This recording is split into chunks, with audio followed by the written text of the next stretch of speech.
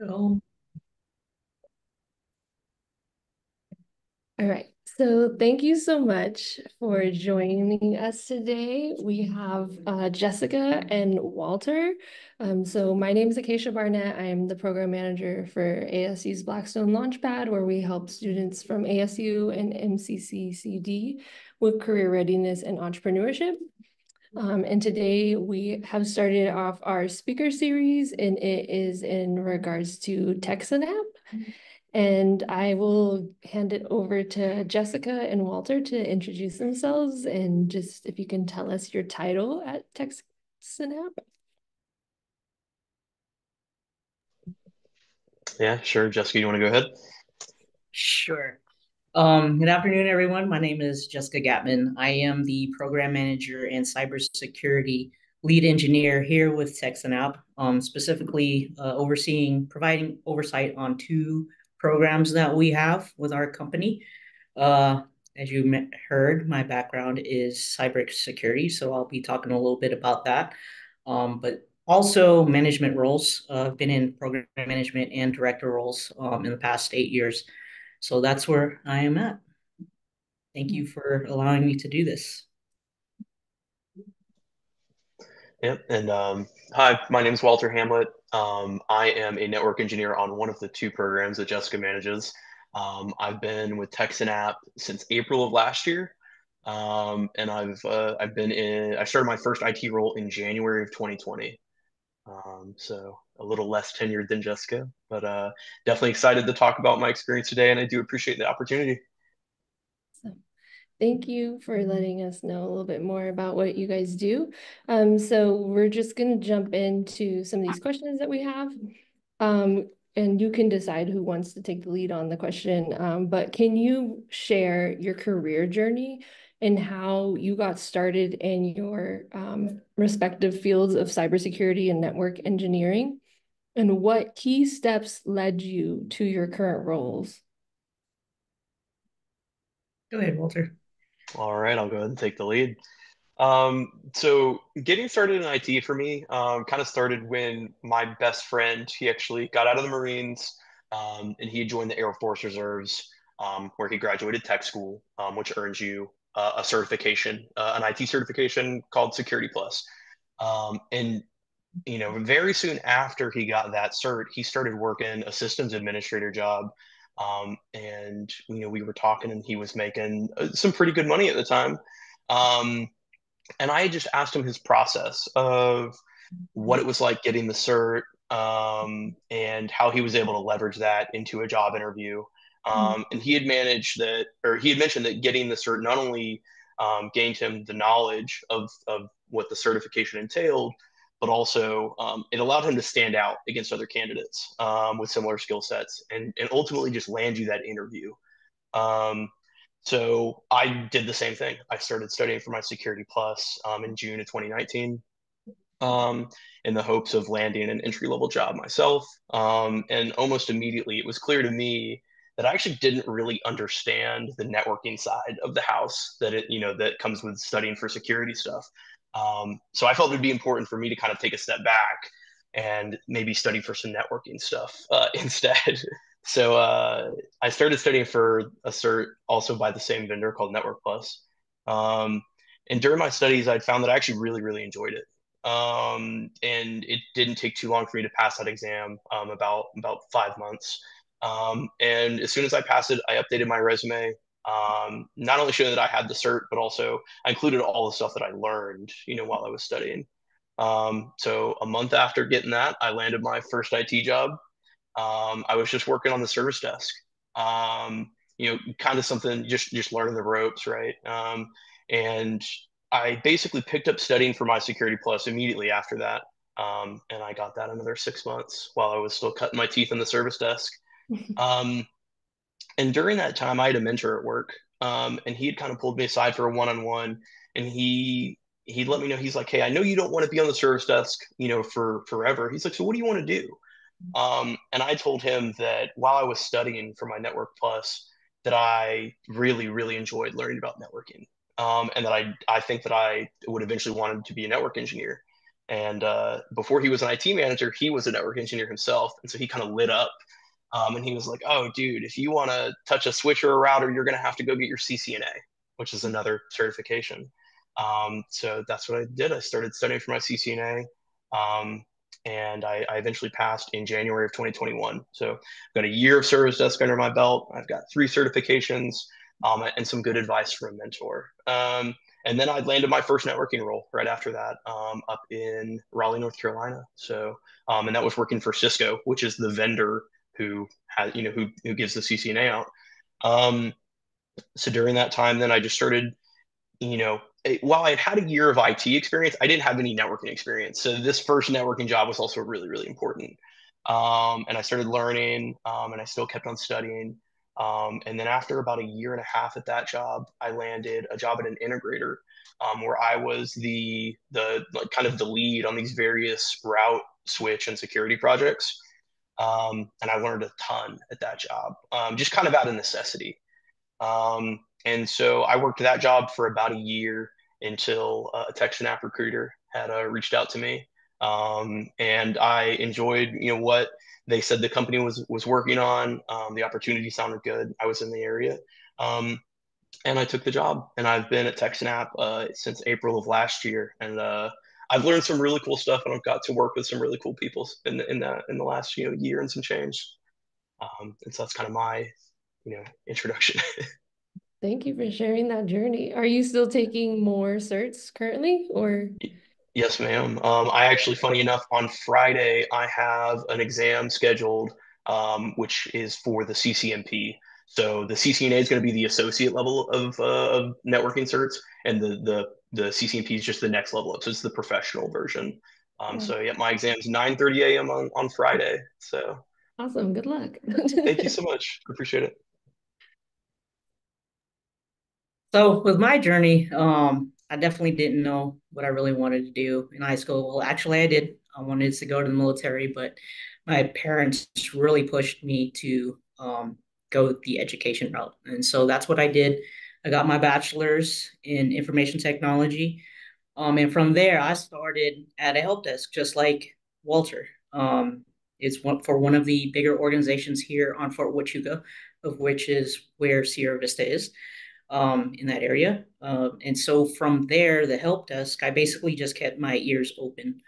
Um, my brother-in-law at the time, he was into IT. He actually transferred from being a nursing student into the IT field, which I started listening to what he was talking about, and it just got me interested.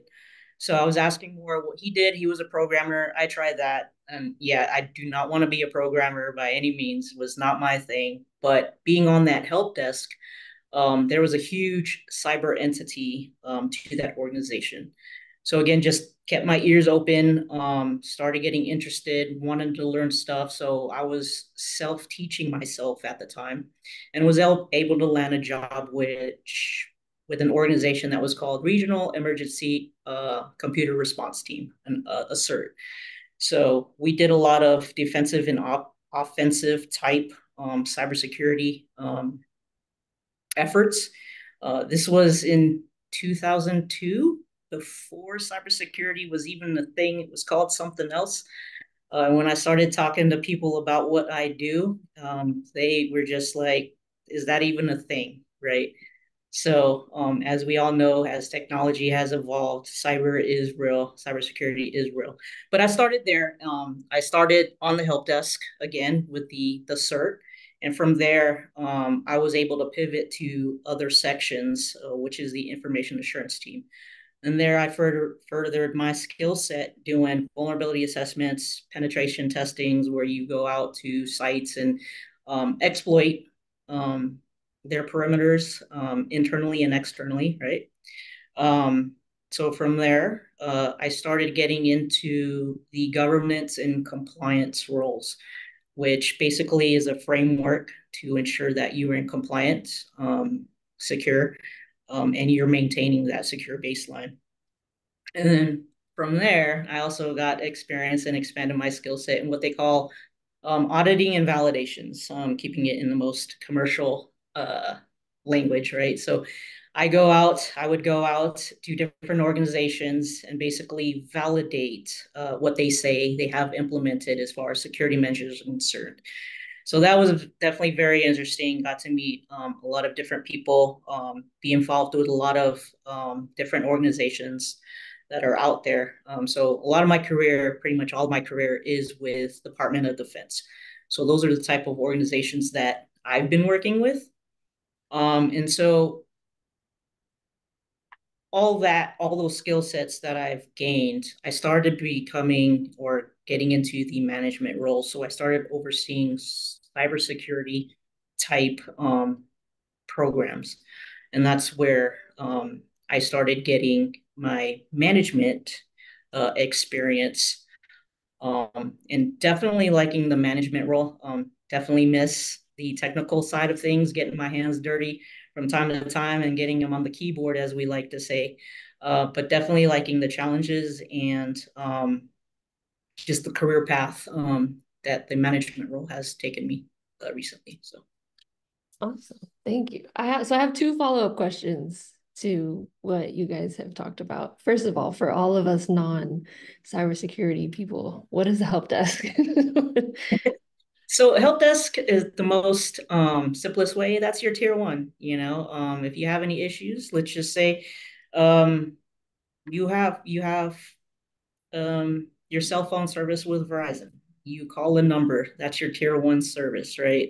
That is your help desk. That help desk basically listens to your your issue and then um, push it to whatever uh, section or organization or person or however they're set up um, to resolve your your issue that you're having or help you troubleshoot it. So, awesome. So that's when I go to the website entry, yeah. and it says chat here. Yep. So okay. back in the day when I was starting on the help desk, there was no automated bots or chats or anything like that. How we have it now. So. and then when you said a programmer, what is a programmer? A programmer um, is basically making that code. Um, you're coding. You're you're in the back end. You're under the hood. You're writing um, code um, to make an application or make things work or communicate. Um, so it's a lot of what we call a command line interface. Um, someone hates the chat. uh, so yeah, that's what coding is. Programming, programming is. I'm sorry. Okay, thank you. Um, uh, and I know you said, um, Jessica, that you got your bachelor's um, before you started getting your certs. Walter, do you have um, like any uh, community college education or uh, university education? I do not have any higher education. Um, it is definitely something uh, on my to-do list, though. Um, that that especially, which um, I think it's really important um, while not required. Um, Jessica mentioned we work for the DoD. Um, some contracts will require it. Some promotions will require it. Um, some companies won't even touch you without education. So while I personally don't, um, it is something that you never want it to hold back your career by not having it. Um, so I think that it is it is incredibly important. and can you tell us like if you were to start again knowing all the information that you have so far. What would be like the first cert that you would get or tell someone? Like these are yeah. you know your top three. Yeah certainly. Um so one of the things that i would do is it's kind of it's kind of a nuanced answer but and it, it might be a little difficult to decide this but i think it's really important to think about what job you'd like to eventually have. Um, because the cert you don't want to go for a cert that hiring managers don't care about because ultimately while the cert is going to gain you some experience the what the cert really does is get you in front of hiring managers right and, get, and passes that hr filter um, that's what i like to call it um, so i would try to do your best um, to think about the job that you'd eventually like to do so as an example if you want to be a network engineer your CCNA is is honestly your best bet. It really is. If you'd like to do systems engineering, that might be an Azure, like a Microsoft Azure cert. Um, if you want to be like a software engineer, that might just be getting your computer science bachelor's, honestly. Um, so, but you can find out the answer to that question by looking at the job postings. Um, so, you know, Indeed, LinkedIn um, for cleared work clearance jobs, and you can see what are those hiring managers asking for. So uh, I know it's kind of a nuanced answer, but specifically for network engineering, I think you can't go wrong with your CCNA. That's awesome. Um, I think that's a really great recommendation to look at what they're asking for because that's where you're going to get like the direct answer. And so we always tell students just start looking. what, yeah, definitely, what, definitely. What, what they're they're needing and what they're wanting. Um, so my next question is what are some of the biggest challenges you've faced in your career and how did you overcome them? That was a very good question. Um, and I always enjoy entertaining that question um, because, and I'll take it this route. Um, the information technology field is very strong uh, with males, and I'll just put it that way. Um, you can only imagine back in 2002, uh, a male majority role and me trying to find my way through the IT path, right? So that was definitely difficult, um, but it's very doable, right? Um, and it and it goes to show that hey, you know, make sure you're understanding what the requirements are for the role, what type of skill sets you need for the role, um, continuously staying curious and teaching yourself, if anything, to further your skill sets. Because once you have that under your belt and you always remain motivated, um, those challenges of what you are faced with, you can easily overcome, right? Because at the end of the day, uh, what speaks louder is your actions are your actions right so those are in in I hate to say it sometimes but sometimes it still is a challenge uh, being a female in a, a predominant male um, it uh, environment right so i always keep my a game up um, i always keep my ears open eyes open um, try to figure out what the next thing is in in what has to happen in my career so um, those are the main, that is the main challenge that I've um, experienced.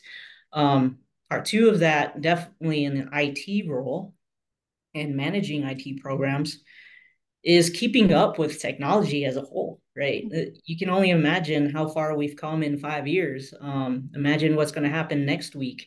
Are you ready for that? Are you ready for that change? So, um, ensuring that you are adaptable to whatever whatever comes down the pipe per se um, that is a challenge because people don't like change, right? so that's one thing that being in an IT role as a whole that you have to be prepared for and face. Awesome. And I'm sure that, you know, the those challenges of it being so male dominated has probably led you to be a really great manager because of Walter's giving me a thumbs up, so must be correct. absolutely. Absolutely. Um, okay, so my next question is cybersecurity and network engineering are constantly evolving, like you were saying.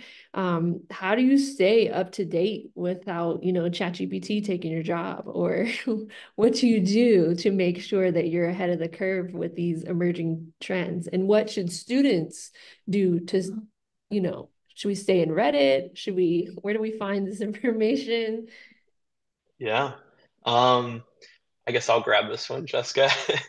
um, for networking specifically, I think it's really important to kind of pay attention to what the biggest vendors in the space are doing. Um, so that might be like Cisco, Juniper, Arista, Palo Alto, just to name a couple. Um, obviously, they're on like the bleeding edge of all of this and, and seeing what they do um, in their footnotes and all of their conferences um, and their product lines um, is really important. Additionally, though, I use Reddit a ton to stay abreast of where the industry is going um and just about life not just yeah abs- absolutely um just to be able to continue to stay marketable um mm-hmm. so just as an example um you know in my short amount of time in being in IT um, it's it, it was always really clear to me that that network security is going nowhere and, and, what i mean by that is that we're always going to need it and we need it more than we needed it you know five years ago and we're going to need it more five years from then too you know so um, people, um, rather corporations, spend a ton of money on that because it can be disastrous without it. So um, that would be one thing that is is really clear to me. Um, and then also, um, even in just a short amount of time that I've been in networking, I've kind of seen a shift um, from just staying on the command line, um, which is how you administer networking devices, um, to there's been a shift in um, people needing automation experience because it, it's just where the industry has gone. And, and Cisco's kind of been the you know spearheaded that effort um, with with their automation um, ideas and their tools and their certifications. So um, I, I, would say being adaptable, like Jessica had mentioned, and and needing to be able to to to just not be stuck in your ways because it's never going to stay the same. I think is really important. So, um, yeah, that that that would be my suggestion. Awesome, thank you. Um, so my next question is, in your experience, what are the most critical skills that aspiring cybersecurity professionals and network engineers should develop? other, than soft skills. Soft skills. Yeah. Um, I mean, I think we've mentioned it before, and you know, this this question kind of leads or follows the answers that we've provided already is just you know everything's changing constantly. It's how do you stay abreast of that um, to maintain your skill sets or advance your skill set right? Um, because people do get stuck in their ways. They become their own obstacle and once you do that um, you're going to be left behind. I hate to put it that way but that's the, the, the reality of it. Um, i always say communication um, you know is it's a soft skill but it's it's a skill that everybody should learn and understand um, that it has to happen because you know you're talking to IT people. Well a lot of them and this is nothing no ding on anyone they're geeks. We're all geeks. We communicate one way right?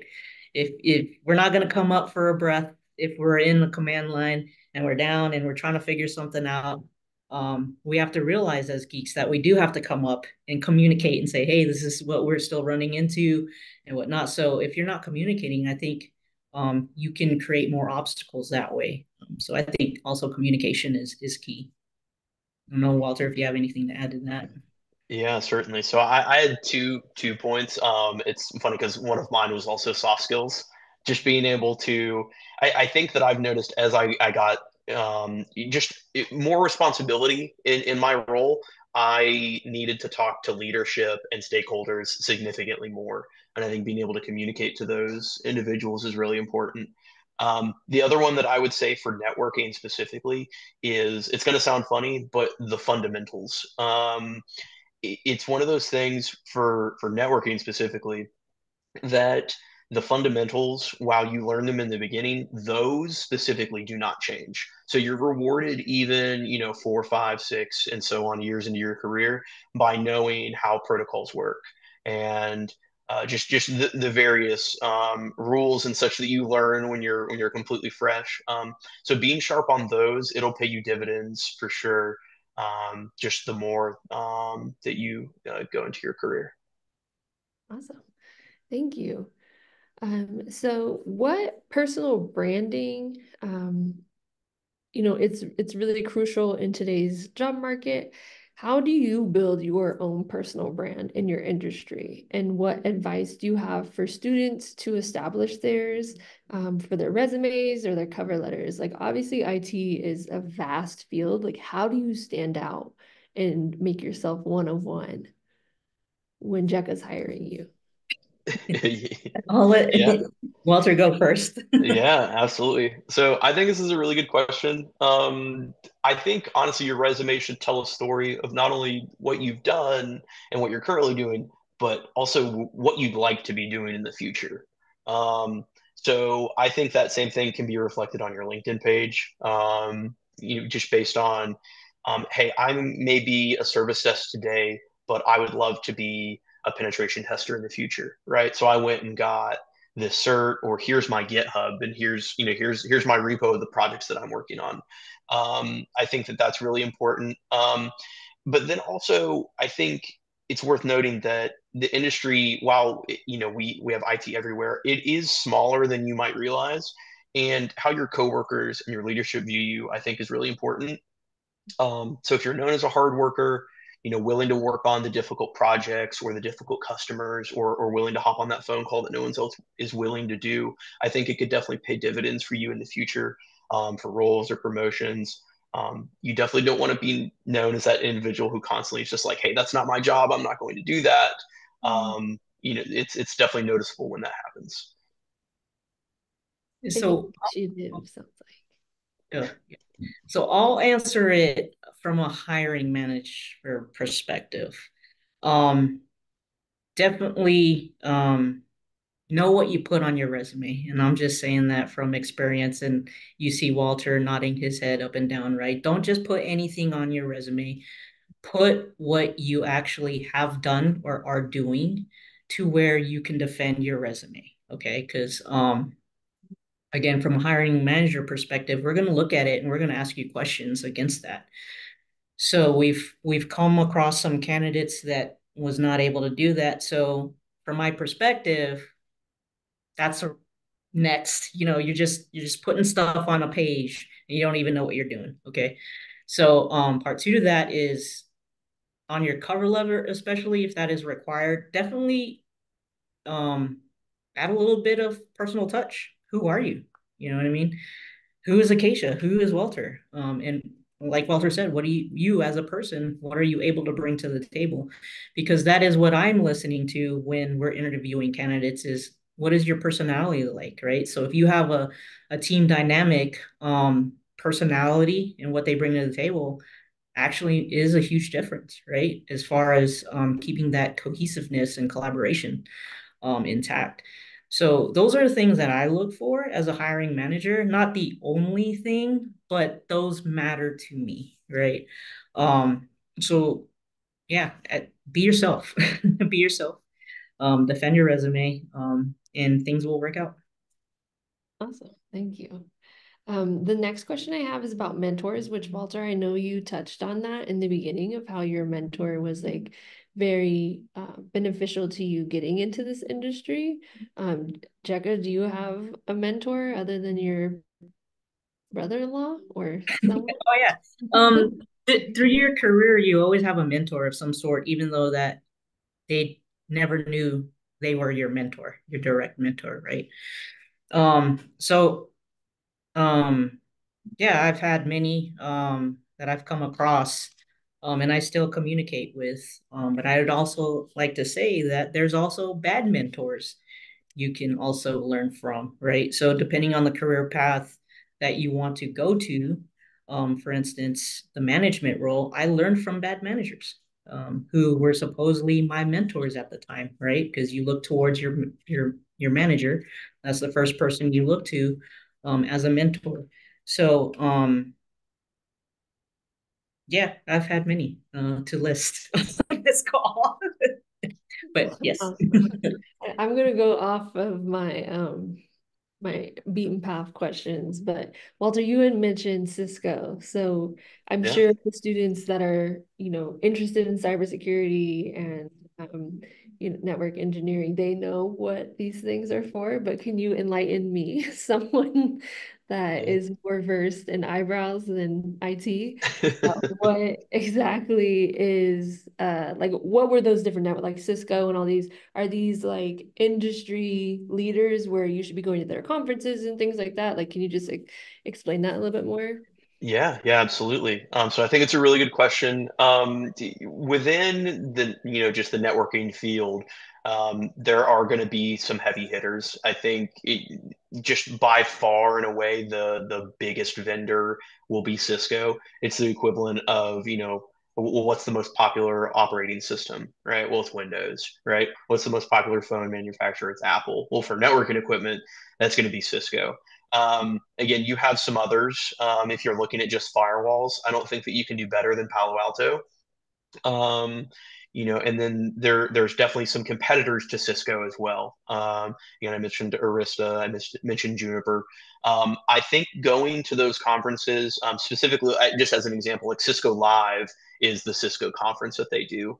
Um, that's really good, uh, like a great opportunity for multiple reasons. For one, just for continuing education, they have you know classes and hands-on like technical breakouts. But I think it can't be understated about how important networking is, and not technology networking, but but networking in the industry. Um, so getting your name out there um, is really important. So um, I would just, um, yeah, if you have the opportunity to go to one of those conferences, if you if your um, company can pay for it, if you have the opportunity through through another means, I definitely would do it. Um, absolutely. Awesome. Um, and my last question is looking ahead, what are your future goals and aspirations? How do you continue to challenge yourselves to grow in your field? And what do you hope to achieve next? You want to go first, Jessica? so definitely uh, my career path and where I see it's going is um, continuing the management, right? So uh, being um, supporting the Department of Defense specifically as a uh, IT services company, which is TekSynap. Um, there's many opportunities out there, and within those opportunities, um, there's different roles uh, within management to pursue. And I say that as far as, you know, um, proposals, um, increasing my portfolio in whatever way that's going to look like, um, and just finding out what the new shiny is um, within our means, right? So that's what I'm interested in. That's what I want to um, continue going down a path that I want to continue to go down. Um, as far as um, certifications, I'm definitely looking at my um, PMP. Ooh. I have set my own personal goal to potentially get that by the end of this year. So um, just another certification and, and additional skill sets to learn from those foundations, right, to um, improve my skill sets for management. Yeah, maybe we could take that together. Oh. awesome. Yeah, absolutely. So I know I'd mentioned it earlier. Um, so on Friday, I'm taking my CCNP. Um, uh, I after a couple years in networking, I, I, think it's a really good idea. Um, it's kind of like a next stepping stone. Um, the stuff that you learn in that cert definitely uh, kind of prepares you for the for the nitty gritty and the stuff that maybe a senior network engineer um, would be tasked with doing. Um, so that's it. You know, just continuing my education is definitely a priority. Um, I also mentioned earlier too that I think that network automation is where the industry is going, um, and honestly already has gone. Um, you, one of the languages that you could pick up, maybe programming languages you could pick up for that is Python. So um, I'm definitely uh, looking to enroll in a class. Um, I just become profi- proficient in that, um, and that's where I'd like to kind of take my you know career as of right now. I'm still a little early in networking, so I've only been here for three and a half years um, for for networking, so um, still still have a ways to go, but I'm enjoying it so far. That's awesome. And it, I would be remiss to ask this last question of have either of you ever thought about opening up your own cybersecurity, like being an entrepreneur in any sense, or is that like very hard? You should stay with the company, or what's your uh, opinions uh, on that? Yeah, I've I've thought about it. Um, I would say let's say casually. Um, in my job before TekSynap, I was tasked um, for a certain type of project that we found that customers really didn't have the skill set to do. Uh, this was this was setting up and upgrading a specific Cisco appliance. Um, and as I did, you know, 10 or 12 of them, you know, it was it was clear that I was pretty decent at it. So I thought about maybe setting up some kind of, you know, something like that. But I think you definitely need to weigh the, the risks associated with that too. So as of right now, I would say no, but it certainly has crossed my mind. That's cool. All the time. really? Um, yeah, it's just it's something interesting to do and, and pursue, right? Um, I think the the only thing um that I guess I the reason why I haven't is just time, right? Um, but it's definitely uh, stuck in my head. Um, eventually, uh, I might, but just don't know when. But I'm looking at as more of consulting um, for um, organizations in cybersecurity, or you know, if Walter wants to join, then he can add the networking uh, perspective uh, um, to it. You know, but more in the consulting. But yeah, all the time. Awesome. So our next Zoom should be how to sell your cybersecurity to DoD. Sure. I love it. awesome. Um, does anybody have any questions for Jessica or Walter before we give them back their lovely Wednesday?